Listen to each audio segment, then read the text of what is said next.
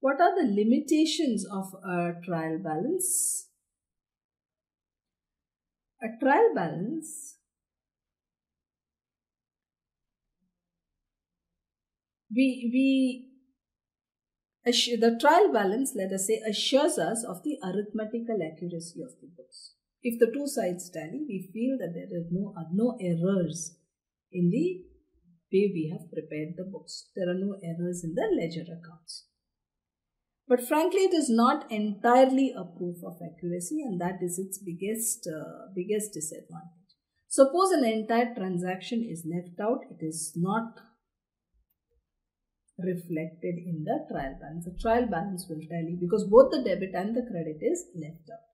It will not be reflected in the trial balance. How, how is it reflected in a trial balance? When the debit balance and the credit balance disagree, we know that there is an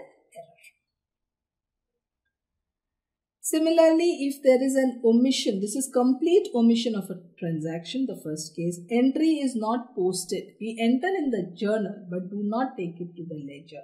So this is omission of posting. What was posting? Transferring the data from the journal to the ledger.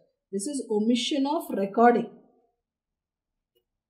Ignored entry is not posted to the ledger. So it's neither posted to the debit side of the ledger nor posted to the credit side of the ledger. Or we have a double posting in the ledger by mistake. Double posting we post. We post it twice. Debit side will tally, credit side will tally, but if there is, it's not accurate.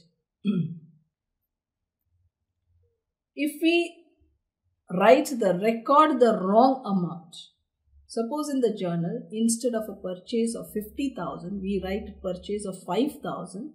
Purchase will come down by 45,000. Creditors will come down by 45,000. But trial balance will agree. Purchase account will be wrong, creditors account will be wrong, but trial balance will tally. Similarly, if we post it, a wrong account is mentioned. Suppose instead of debiting machinery account, we debit wages account. These are called in a way errors of principle.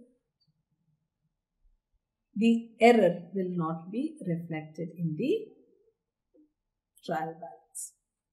It will continue to tally.